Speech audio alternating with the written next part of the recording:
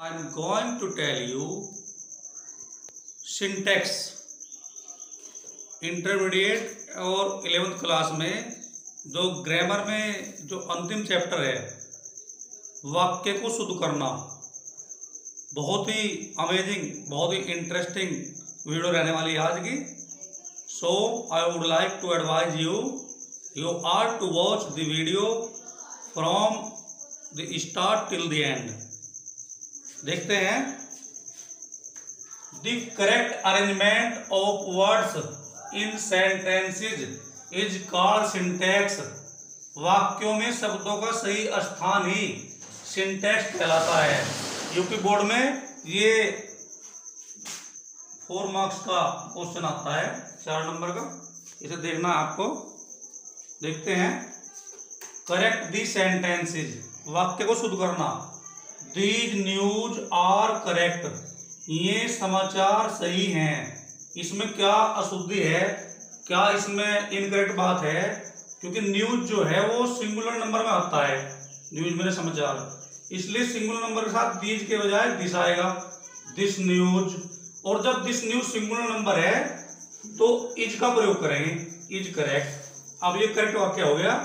This news is correct यह समाचार। सही है, ठीक है। Some cattles are in the field कुछ पशु मैदान में हैं। जो कैटल शब्द है कैटल्स ये इसमें एस नहीं लगेगा। इसका सिंगुलर नंबर और पुल नंबर एक समान होता है। आपको चार वर्ड ध्यान रखने हैं। कैटल पशु फ़िश मछली डियर हिरन और सिप भेड़। इनका सिंगुलर नंबर भी वही होता है। पुल नंबर भी वही होता है। इनका पुल नंबर बनाने के लिए हमें एस नहीं लगाना पड़ता। तो इसमें एस गलत है ये। Some cattle are in the field. कुछ पशु मैदान में हैं। अब ये करेक्ट सेंटेंस हो गया, क्योंकि कैटल जो है, वो सिंगुलर नंबर में आता है। सिंगुलर पुलन का एक ही होता है। यहाँ ये पुलन नंबर है, क्योंकि सम कैटल, कुछ पशु आर इन दी फ़ील्ड, मैदान में है। ये भी कह सकते हैं हम, अगर हमें सिंगुलर नंबर में सेंटर बनाना है there is a cattle in the field मैदान में एक पशु है। I have already told you मैंने आपको अभी बताया है कैटल सीप और फ़िश और डियर इनका सिंगुलर नंबर प्लूरल नंबर समान होता है। उस सेंटेंस के अनुसार अगर सिंगुलर बनाना है तो उसमें ए लगा देंगे। अगर प्लूरल बनाना है तो ए नहीं लगेगा। और इनमें एस कभी नहीं लगेगा। क्योंकि इनका सिंगुलर नंबर पुल नंबर एक ही होता है। आई सा सम डियर्स देखिए अगले सेंटेंस में। मैंने कुछ हिरन देखे। आई सा सम डियर एस नहीं लगेगा। एस को हटा देंगे। क्योंकि डियर का सिंगुलर नंबर और पुल नंबर एक ही होता है। डियर का भी सिंगुलर नंबर पुल नंबर एक ही होता है। Do not insult the poors गरीबों का अपमान मत करो। दी पुअर्स नहीं होता दी पुअर होता है। दी पुअर पुअर नंबर हो गया। जिस तरह मेरे कहने मतलब ए पुअर मैन एक गरीब आदमी। दी पुअर उसमें पूरी गरीब जाति आ गई, यानी पूरा गरीब समाज आ गया। दी पुअर एस नहीं लगेगा, इसमें एस हटाएँगे। ये करेक्ट वाक्य क्या हो जाएगा? Do not insult the poor अब सही सेंटेंस है हर हेयर्स आर लॉन्ग उसके बाल लंबे हैं। हेयर सब जो है, ये प्लूरल नंबर में आता है और इसमें एस नहीं लगता। हर हेयर इज़ लॉन्ग उसके बाल लंबे हैं। हेयर जो शब्द है जो सिंगुलर नंबर में आता है। भले ही सिर सिर के ऊपर अनेक बाल होते हैं, लेकिन इसकी काउंटिंग जो है सिंगुलर नंबर में होती है प्लूरल नंबर में नहीं होती।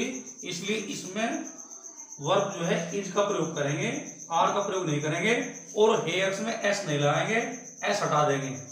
My spectacles are very costly मेरा चश्मा बहुत ही महँगा है। तो इसमें मतलब स्पेक्टिकल्स में जो है, जो जिन यंत्रों का या जिन, जो भी वस्तु है ऐसी, जिनके दो भाग होते हैं, जिस तरह चश्मे के दो भाग हैं, कैंची के दो भाग हैं, इन्हें जो है सिंगुलर नंबर में काउंटिंग होती है। इनकी तो my spectacles is very costly इसमें इज़ का प्रयोग करेंगे आर का प्रयोग नहीं करेंगे, क्योंकि ये सिंगुलर नंबर है।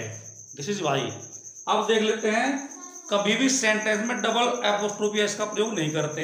इसमें कहा गया है, Pooja sisters phone is new Pooja की बहन का फ़ोन नया है।